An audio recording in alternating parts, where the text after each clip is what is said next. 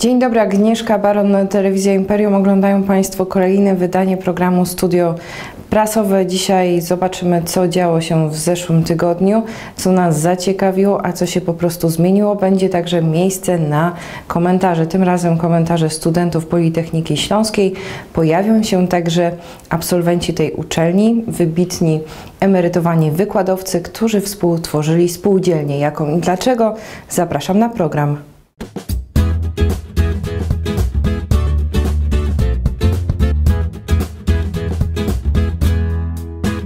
Nasze dzisiejsze spotkanie zaczynamy od przeglądu tygodnia. Nie zabraknie oczywiście komentarza od naszego zaprzyjaźnionego i oswojonego socjologa miasta Andrzeja Wawrzyczka. Tydzień minął bardzo szybko. Wybierzmy takie może trzy najważniejsze tematy. Zacznijmy może od tego, że zmieniła się nasza nowa strona internetowa. Jak Ci się podoba? E, bardzo. Znaczy jest na pewno nowocześniejsza. Tam różne były dyskusje na temat kolorystyki, ale, ale na pewno jest bardziej przejrzysta. Użyteczna? Tak, i taka intuicy, intuicyjna. E, więc e, myślę, że będzie się na pewno widzą łatwiej e, materiały telewizji Imperium przeglądało. E, a jeżeli mamy zacząć e, Od wiadomości. od wiadomości i od tego, co się działo, to myślę, że taka największa e, rewolucja, która nas e, w tym tygodniu, e, której się doczekaliśmy w tym tygodniu, e, to jest e, zmiana e, układ e, ruchu na Starym Mieście. To znaczy wprowadzenie tej zapowiadanej od, od początku roku e, strefy zamieszkania, czyli e, przekazanie e, bezwzględnego pierwszeństwa e, pieszym. Samochody od teraz już będą na Starym Mieście trochę bardziej na, e, w charakterze gościa, który musi się dostosować do e, ruchu pieszych. E, No i to jest istotna różnica i też to się wpisuje w jakiś sposób w te zapowiedzi, które były czynione, że po zakończeniu remontu Stare Miasto będzie oddane w większym stopniu pieszym i mieszkańcom. Chociaż y, to i tak jest, można powiedzieć, miały chyba kompromis, bo mówiło się o tym, żeby po remoncie starówka w ogóle dla samochodów była zamknięta. No jest to kompromis, aczkolwiek no, do tej pory e, piesi rzadko kiedy mogli liczyć na tego typu kompromisy, także, także jest to duży krok e, naprzód, jeśli chodzi o e, miasto bardziej przyjazne pieszym e, niż, niż, niż kierowcom i samochodom, którzy mają póki co jeszcze większe priorytety na większości ulic. W zeszłym tygodniu też takim moim zdaniem ważnym tematem, przypomnieniem był budżet obywatelski i goniące nas terminy. W sumie y, w tym roku do wzięcia przez 21 rad osiedlowych jest 3,5 miliona złotych to całkiem sporo. Też się co nieco, podobnie jak na sterowce, tutaj w tym nowym budżecie obywatelskim zmieniło. Co się zmieniło i pytanie, czy na lepsze? Znaczy ja cię może na początku trochę skoryguję, bo pieniądze są do wzięcia nie przez rady osiedlowe, tylko przez mieszkańców. mieszkańców, tak. Przez mieszkańców w osiedlach. E, I to jest podstawowa zmiana, bo wcześniej e, była jedna pula na całe miasto. Te osiedla musiały wyszarpywać wręcz te pieniądze. Tam e, bardzo różne dziwne procedury były organizowane, żeby tylko te pieniądze pozyskać. E, Teraz każda z, każde z osiedli, każdy z dzielnic ma swoją własną pulę zarezerwowaną. E, Żeby po nią sięgnąć, jedyne co jest potrzebne to 5%, e, przekroczenie 5%, e, 5% frekwencji w głosowaniu. E, To jest taki zapis, który, za którym bardzo optował pan prezydent, żeby zmotywować mieszkańców, że i poniekąd można też mu tu właśnie przyznać rację, że mm, z jednej strony, bo budżet obywatelski to tylko z jednej strony jest e, sposób na to, żeby mm, w bardziej taki demokratyczny sposób wydać pieniądze, które są w budżecie. E, Natomiast no, też trzeba zwracać uwagę na to, że to jest takie narzędzie do tego, żeby ludzie zaczęli ze sobą rozmawiać, e, spotykali się już, dość dużo takich spotkań w różnych osiedlach się odbyło, na których mieszkańcy mieli okazję porozmawiać, e, podyskutować. Sam osobiście wczoraj w, jednym takim spotkaniu brałem udział. E, I więc to jest e, jeden element istotny, a drugi element to jest właśnie taki, żeby też e, ludzie w większym stopniu brali odpowiedzialność za to, co się dzieje w ich e, bezpośrednim sąsiedztwie i stąd ten 5% e, minimalny e, próg wy- wyborczy, frekwencyjny, a jeszcze jest dodatkowy drugi próg e, dzi- dla tych najbardziej e, aktywnych osiedli, e, po którego przekroczeniu e, osiedla będą brały udział w e, podziale dodatkowej puli, która powstanie z niewykorzystanych środków. Także e, należy po pierwsze zachęcać do tego, żeby mieszkańcy zgłaszali swoje projekty, bo to, to, jest, to jest druga kolejna zmiana, że do tej pory projekty do budżetu obywatelskiego mogli zgłaszać radni, y, rady osiedlowe. Teraz każdy mieszkaniec może to zrobić. Wystarczy e, dobry pomysł, wystarczy 15 podpisów e, e, poparcia dla tego pomysłu i ten projekt automatycznie jest analizowany pod kątem wprowadzenia na tą listę rankingową, której, e, na której później się odbywa głosowanie. Także e, każdy mieszkaniec e, z jednej strony może zgłosić swój projekt, potem może go wypromować e, w osiedlu e, i zachęcać e, do głosowania. No, w tym roku ta frekwencja to jest podstawa. E, Tak, e, w tym roku ma się też zakończyć remont dworca PKP, chociaż władze PKP o konkretnym terminie nie mówią, mówią o pierwszej połowie roku, także mówiłeś e, Andrzeju o tym, że będą właśnie takie rankingi tworzone. Chodzi tutaj o, o ten budżet obywatelski.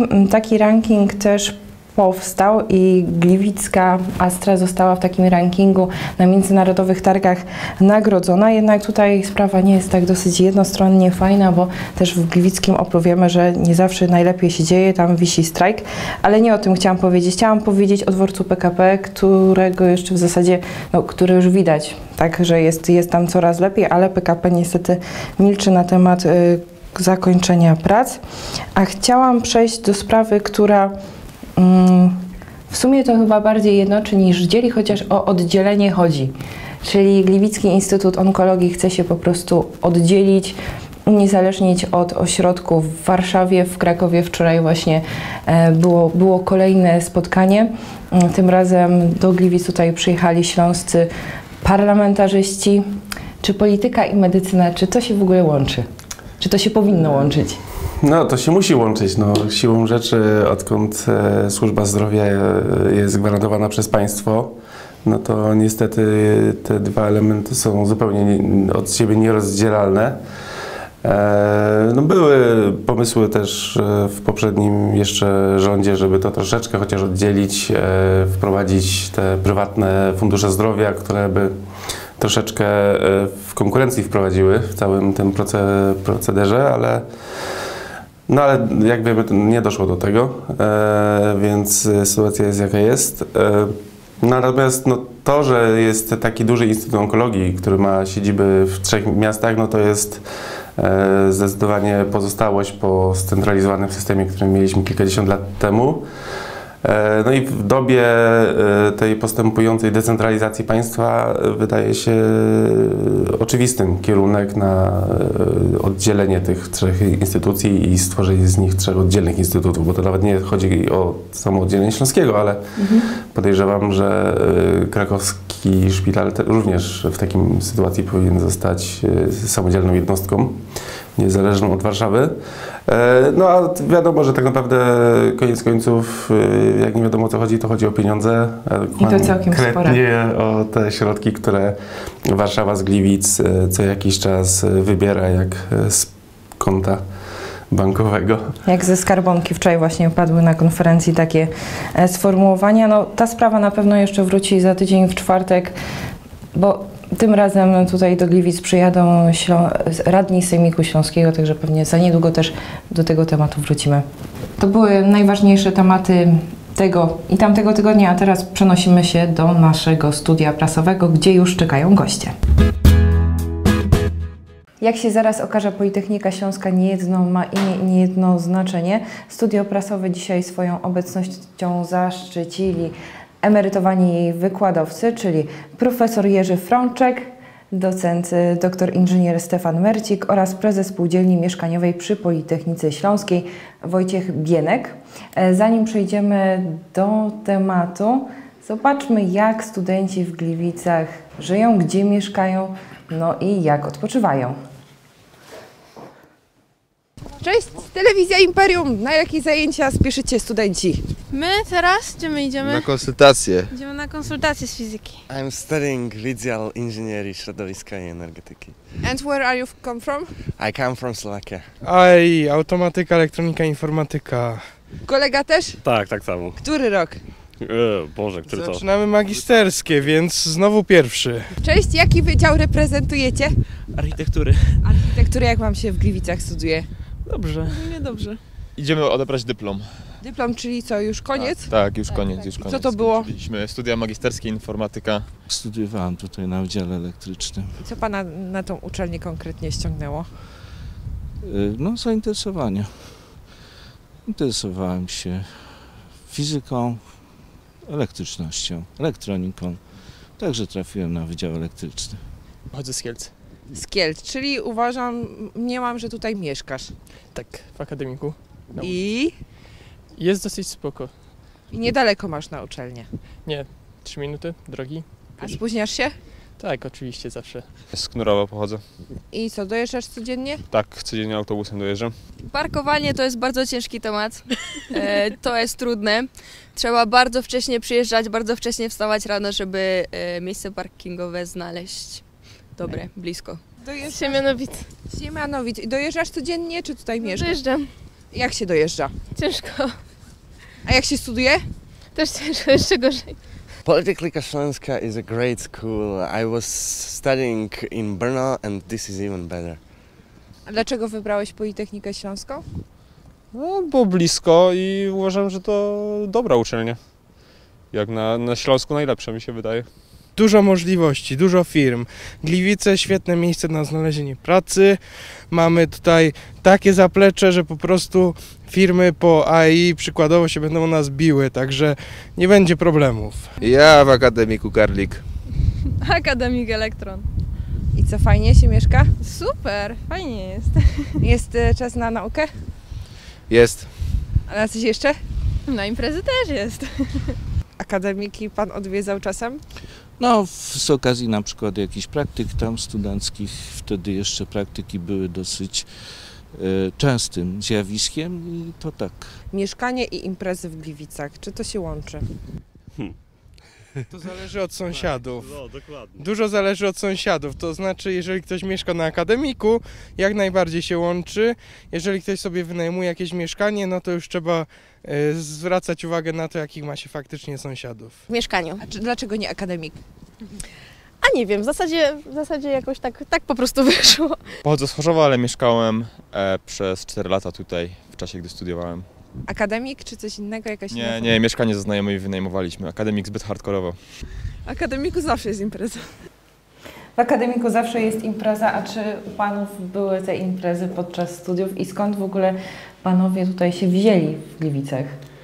Y, Ja skończyłem technikum elektryczne w Opolu i tam mieliśmy wspaniałą kadrę y, nauczycieli, jak to się mówi, część przedwojennych, a szczególnie takich, którzy już weszli y, w tak zwaną nową technikę. Nawet jeden z naszych y, nauczycieli był wicedyrektorem do spraw nauczania.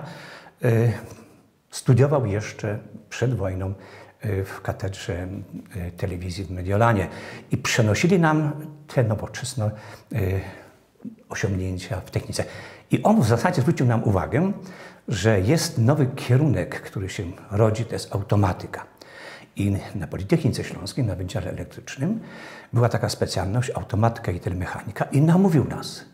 Ja i moi dwaj koledzy zdecydowaliśmy się tutaj właśnie podjąć te studia po to, żeby tę specjalność skończył, skończyć. Skończyliśmy i w ten sposób znaleźliśmy się właśnie tutaj na Politechnice. Do 56 roku to była szkoła średnia, a od 56 do 61 to były właśnie nieprzerwane studia na Wydziale Elektrycznym. Docent Mercik, y, pan też, panie docencie, wykładał na Wydziale Inżynieryjno-Budowlanym, prawda? Tak, tutaj też się Wydział Budownictwa pojawił.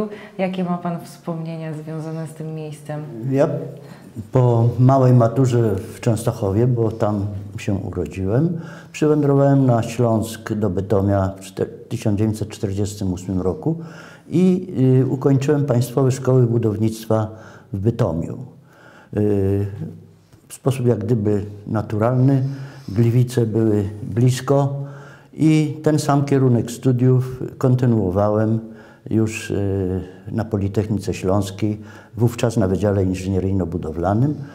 Na trzecim chyba roku Zaproponowano mi asystenturę i pozostałem już do emerytury na tej uczelni, a nawet po emeryturze jestem prezesem Stowarzyszenia Wychowanków Wydziału Budownictwa do dnia dzisiejszego.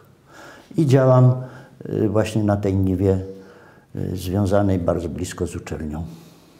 To jeszcze może pana prezesa zapytamy o, his- o swoją historię i studia. Moje doświadczenia są również y, takie kolorowe, jak tutaj studenci się przed chwilą wypowiadali. Był czas na naukę, było, był czas na y, y, świętowanie, na imprezy. Co prawda nie studiowałem na Politechnice Śląskiej w Gliwicach, tylko w Krakowie na Akademii Ekonomicznej, ale myślę, że klimat y, w domach studenckich był bardzo zbliżony do siebie. Tak, tutaj pojawiały się akademiki. Pan profesor Frączek w sumie też był takim opiekunem jednego z akademików. Jaki to był Może nie byłem opiekunem. Ja opiekunem zacząłem być wówczas, kiedy po skończonych studiach rozpocząłem pracę na Politechnice, właśnie na Wydziale mm, Elektrycznym. E, Potem przenieśliśmy się na Wydział Automatyki, kiedy on powstał z tej grupy automatyki i telemechaniki. I potem, kiedy byłem prodziekanem od mm, roku 77 do 84, to wtedy właśnie akademiki, te, które były przynależne naszemu wydziałowi, no były ciągle pod moją opieką. Także w tym okresie, co się dzieje w tych akademikach, jak to życie przebiega, no, było dla mnie bardzo istotne. Akademiki akademikami, ale w pewnym momencie chyba pojawił się na Politechnice Śląskiej taki problem, że też y, ta uczelnia chciała po prostu pozyskać fachową kadrę e, naukową i chciała po pierwsze tak wykształcić i zostawić u siebie. Stąd też potrzebowała jakiegoś takiego magnesu na to, na tych właśnie chętnych i pojawił się pomysł stworzenia takiej spółdzielni mieszkaniowej. Panie prezesie, jak to było? No, w roku 58 y, kilkunastoosobowa grupa y, wtedy faktycznie kadry naukowej, tej przyjezdnej, postanowiła y, na posiedzeniu takim konstytucyjnym w grudniu podjąć decyzję o założeniu spółdzielni mieszkaniowej. Wtedy mm, nazwa, nazwa była trochę inna niż jest dzisiaj, bo nazywała się Pracownicza Spółdzielnia Mieszkaniowa przy Politechnice Śląskiej w Gliwicach imieniem Wincentego Pstrowskiego. No i potem w, y, w 1959 została zarejestrowana przez Sąd Rejestrowy w marcu, 27 marca. Y, I na początku, mm, na podstawie dokumentów historycznych, mogę to stwierdzić, y, była to spółdzielnia zamknięta, to znaczy mieszkania mogli otrzymać wyłącznie mm, kadra naukowa Politechniki Śląskiej. Natomiast po mm, kilkudziesięciu latach funkcjonowania spółdzielnia się otworzyła i wtedy członkiem spółdzielni mogła być każda y, osoba. Y, Ja chcę powiedzieć, jestem dziewiątym prezesem spółdzielni y, przy Politechnice Śląskiej w Gliwicach. No, prawie 60 lat ta spółdzielnia funkcjonuje, ale myślę, że mamy to szczęście, że jesteśmy dzisiaj ze świadkami powstania czy tych pierwszych lat funkcjonowania spółdzielni i myślę, że to mm, panowie mogą szerzej powiedzieć, jaka panowała atmosfera wtedy w tym czasie. W momencie, gdy y, rzeczywiście ta decyzja ze strony władz uczelni zapadła, y, przed jeszcze zarejestrowaniem y, w Krajowym Rejestrze Sądowym y, zarejestrowana została spółdzielnia, no to poprzedziły ją trudne, y, trudny okres y, y, zagadnień formalnych. Po pierwsze, sprawa działki. Otóż y, działka y, przy ulicy y, Marii Parkowej wcześniej, a obecnie Marii Skłodowskiej-Curie, była własnością profesora Stanisława Fryzego, który był profesorem Politechniki Lwowskiej i w 1945 roku przywędrował tutaj do Gliwic. Więc y, tę działkę, która była wpasowana y, równocześnie y, w plan zagospodarowania przestrzennego dzielnicy akademickiej autorstwa profesora Włodzimierza Bucia i kilku innych pracowników z Wydziału Architektury, została jak gdyby integralnie połączona z planem dzielnicy akademickiej. Więc w momencie, kiedy już mieliśmy tą działkę, przystąpiono do sporządzenia projektu pierwszych dwóch bloków przy ulicy Parkowej. Projektantem y, był pan Alfred Pukiziak, uprawniony inżynier, architekt budownictwa i pomagał mu, y, pomagał mu jeden z y, architektów w sprawach właśnie związanych z kreśleniem, z przygotowaniem tego projektu, opracowaniem całościowej, całościowym tej dokumentacji projektowej. Znaliśmy już e, rys historyczny, ale mnie interesuje ta atmosfera, która towarzyszyła Panom na początku. Mówi się, że jest coś takiego jak bohema artystyczna, tak? że tam są pisarze i tak dalej. Jest taka twórcza atmosfera, a tutaj w Gliwicach była taka, można powiedzieć, bohema naukowa. no, bohema naukowa i, i wytworzył się taki y, entuzjazm y, w zakresie powiedzmy działalności tej inwestycyjnej, bo to był pierwszy obiekt, pierwsza spółdzielnia, która y, pod egidą jak gdyby Zarządu Wojewódzkiego Spółdzielni Mieszkaniowej w Katowicach, bo taki istniał, y, uzyskała y, możliwość egzystencji na terenie Gliwic z tymi wszystkimi problemami związanymi y, z brakiem własnych y, wykonawców, własnych materiałów. Jak się mieszkało, Panie Profesorze, na I- początku? Proszę Pani, mieszkało się nie zawsze komfortowo, a powiedziałbym wręcz niekomfortowo. Bo wtedy okazało się, co to znaczy w takich blokach w owym czasie być zasilanym w takich mini hydroforni, takich mini osiedlowych ciepłowni. Ciągle było niedogrzane, pełno pleśni zimą. Ciągle tej wody nie było, a więc to było bardzo uciążliwe. Ale skoro mowa o atmosferze, okazało się, że te niedogodności powodowały taką integrację mieszkańców. Nikt nie pytał, gdzie pracujesz, skąd pochodzisz, ale jesteśmy razem, ponieważ mamy te same potrzeby. A więc był to okres, byliśmy szczęśliwi, że mamy te mieszkania, mimo tych niedogodności. Tak, e, teraz już jest nieco inaczej. Spółdzielnia już nie ma tego przymiotnika pracownicza, no i to jest spółdzielnia mieszkaniowa przy Politechnice Śląskiej. Mogą też w niej nie tylko pracownicy Politechniki Śląskiej mieszkać i to jest jedna z największych, o ile nie największa spółdzielnia w Gliwicach. 50 bloków mieszkalnych samych. Jak jest, jaka jest sytuacja teraz? Y, Zgadza się, jest to największa spółdzielnia w Gliwicach w tej chwili. Mamy 53 budynki wielorodzinne, 9 pawilonów handlowych, ponad 500 garaży. Y, Jest ta spółdzielnia otwarta, tak jak Pani była uprzejma powiedzieć, na y, wszystkich. Każdy może być członkiem y, naszej spółdzielni.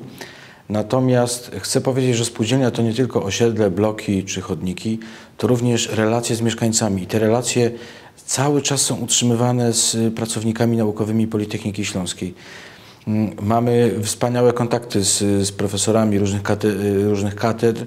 Y, No, prowadzimy różne wspólne jakieś rozmowy, badania no, powodujące, że, powodujące, że y, no, poprawiamy to funkcjonowanie spółdzielni, y, ograniczamy koszty, no, tworzą się jakieś pomysły nowatorskich rozwiązań. No, tutaj chcę podkreślić wiele spotkań z profesorem Andrzejem Szlenkiem, no, znanym i wybitnym fachowcem od ciepłownictwa. Y, No, bardzo nam tutaj pomaga. Również y, rozmawialiśmy na temat mm, fotowoltaiki, y, solarów słonecznych. No, no, chcemy jakieś prowadzić badania naukowe również ze studentami, pomiary i tak dalej, więc ta współpraca z pracownikami naukowymi z Politechniką Śląską ciągle jest. Nawet w tej chwili mamy taki patent, y, tu akurat z panem profesorem y, Witoldem Gnotem, y, z panem profesorem Nawratem. No, mm, od antykorozji badamy powiedzmy, co się dzieje w, naszych, w naszej instalacji wodno-kanalizacyjnej. Mamy pewne przemyślenia, jak możemy zmniejszyć tą korozję, nawet, nawet, nawet mamy pomysł na pewien patent, więc no, to jest właśnie oprócz bloków, osiedla i tego, no to życie takie dalej jest, taka rodzinna atmosfera, cały czas te powiązania, dobre relacje z pracownikami naukowymi i to jest y, bardzo cenne. A jakie plany na przyszłość, tą najbliższą?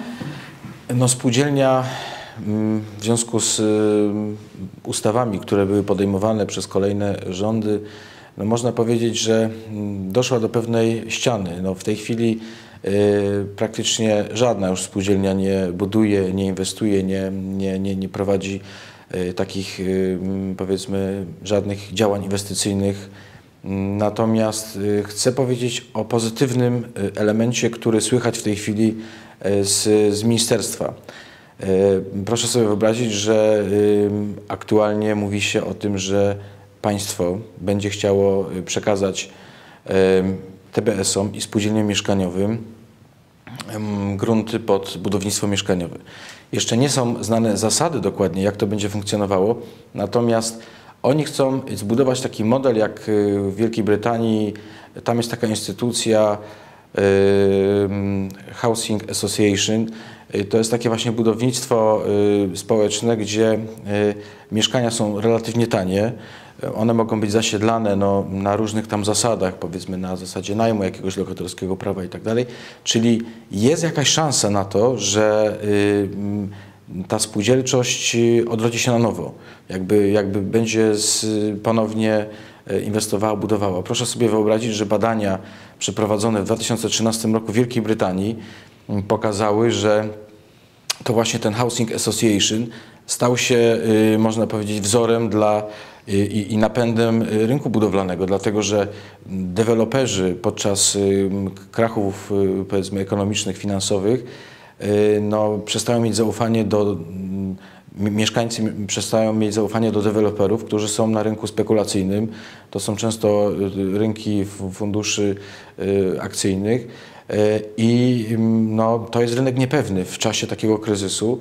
Natomiast y, spółdzielnie mieszkaniowe no, na całym świecie istnieją, mają dosyć długą tradycję, bo praktycznie pod koniec y, y, XIX wieku powstały i no, jest zaufanie. Jest to jednak instytucja pewna, y, znana y, lokalnej społeczności. Y, no, wiedzą, że, że te spółdzielnie mieszkaniowe mają kadrę pracowniczą, że to są pewne podmioty o dobrej płynności finansowej i to się na całym świecie ceni. Cieszę się, że y, w Polsce również y, podchodzi się do tego tematu. To są na razie projekty. Co z tego się urodzi, zobaczymy. I tym miłym akcentem i życzeniami oczywiście tutaj dla Panów zdrowia, dla Panów, dla Pana Prezesa dalszego rozwoju. Kończymy dzisiejsze studio prasowe. Dziękuję Panu bardzo za przybycie, a Państwa zapraszam na kolejny odcinek za tydzień o tej samej porze.